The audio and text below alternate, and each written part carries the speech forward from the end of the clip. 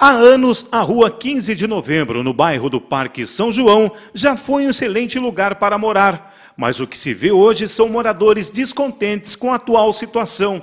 Uma empresa se instalou há dois anos atrás e criou um pátio de contêineres. Isso vem acarretando problemas, deixando essas pessoas indignadas, seja com a rachadura nas casas, a trepidação dos contêineres e o barulho, que é quase todo dia, seja pela manhã, tarde ou à noite. Muitos transtornos, muitas casas já é, com rachaduras, a minha já está caindo praticamente. E, tipo, nós precisamos que nossas casas tenham, sejam valorizadas, como se o dono da empresa fosse o dono da casa, que ele valorizasse a nossa casa como se a nossa casa fosse dele. Né? Porque, na verdade, nós não viemos aqui, quando nós estivemos aqui, não tinha empresa, era um bairro maravilhoso, bonito, bom de se viver, bom de se morar, alegria do povo, povo feliz. Hoje o povo, a maioria foi embora. O barulho é demais. À noite ninguém dorme, quem trabalha de dia não pode dormir à noite. Por exemplo, eu tenho uma filha que é professora. Ela tem que estar com a cabeça tranquila para dar aula, né? Mas muitas noites ela não dorme. Alguns moradores já foram indenizados, outros não. E eles ainda esperam uma proposta da empresa para deixar o local. A maioria do povo já, ele já comprou as casas, mas existem mais casas para que ele para que, que ele venha e compre.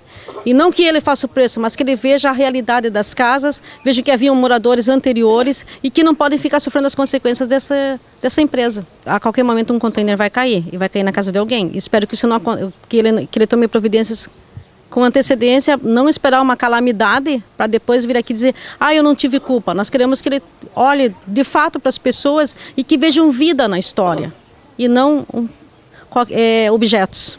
Nós somos pessoas, nós temos vida, nós temos família. Nós já, já moramos aqui há muito tempo, antes dele vir para cá. Agora, já que ele veio para cá, ele que tome conta de tudo, então. Ele que venha e dê um preço justo para as pessoas. A dona Maria Cardoso, que reside no bairro há 40 anos, não suporta mais o descaso. E até o muro da sua residência já foi danificado e nada foi feito para tentar consertar o estrago. Que disse que eles iam arrumar ontem, né? E até agora não vieram conversar com a gente mais e não aconteceu nada de arrumar ali. Se não bastasse toda essa situação, caminhões manobram em ruas apertadas. A minha mãe, ela mora mais próximo ali, né, do que eu, né, e ontem ela se assustou quando ela foi ali fora, né, ela viu aberto ali, né, ela disse, me pegou, me chamou, né, filha, tá aberto ali, ó, derrubaram o, o nosso muro ali, né, então quer dizer que é, a gente não está tendo mais ficou aberta ali, à noite a gente já começou a ficar assim, tipo, é, não dormir tranquilo, porque tá aberto o quintal da gente, né? Uma senhora de 75 anos reclama da saúde. Ela não consegue nem mais descansar devido ao barulho e medo que algo venha acontecer, mesmo estando dentro de casa. Não, tem, não, não posso descansar, que da hora que eu almoço eu preciso descansar e não posso com esse barulho, sabe? esse barulho me ofende muito me dá dor de cabeça, me dá nervoso, essas coisas, sabe? E eu não posso. Dá para dizer, dona Maria, que hoje é triste morar num lugar desse? É, é triste, é muito triste morar num lugar desse, muito triste. Os vizinhos do terminal relatam que os contêineres não estão devidamente colocados, ou seja, não estão encaixados, e o perigo está a menos de 10 metros. Outra moradora também vive tensa e espera que algo seja feito o mais rápido possível.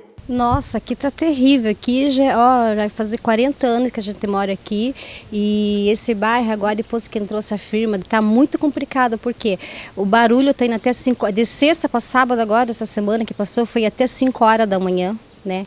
O barulho é tão forte que chega até a estremecer a janela, a casa da gente e a saúde nossa já está ficando que nem da minha mãe agora, que acabou de dar entrevista, a saúde dela já está sendo prejudicada. Ela já é uma senhora que tem 75 anos, né? a gente quer viver ah, em paz, com sossego, tranquilidade, mas não é isso que está acontecendo que nem ali a casa da próxima vizinha ali dos fundos, que o container dá a volta por cima da casa. Inclusive, ela vai trabalhar, ela tem preocupação com o filho que deixa em casa, de quando chegar ter acontecido uma, uma, uma tragédia, uma, um acontecimento triste. E isso é muito triste para gente que mora aqui. A vila pode ver, está um terço só de morador, que mora aqui uns 10, só 10 casas mais ou menos aqui. E nós ficamos, vai fazer dois anos. A última casa que saiu foi 16 de janeiro de 2011. E daí adiante a gente ficou. Eles falaram que que ia de, fazer o, uh, sair o resto da turma e já vai fazer já para dois anos, agora 16 de janeiro de 2014 até agora nada. São diversas as reclamações com esse terminal de contêineres aqui na cidade de Paranaguá, que fica na rua 15 de novembro, no Parque São João. Além de rachadura nas casas, o barulho infernal 24 horas e neste último dia 29 quase aconteceu uma tragédia no terreno de uma casa. Um caminhão carregado com container deu ré e bateu neste muro. A cerca de 3, 4 metros brincava uma criança de apenas 4 anos de idade neste local. A tragédia só não aconteceu por causa deste resto de entulho, que segurou o impacto.